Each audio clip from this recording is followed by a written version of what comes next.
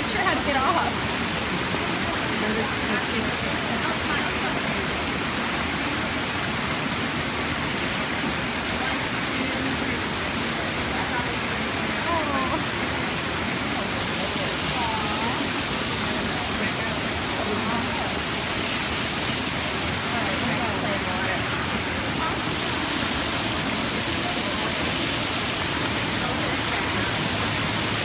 And she actually jumped on.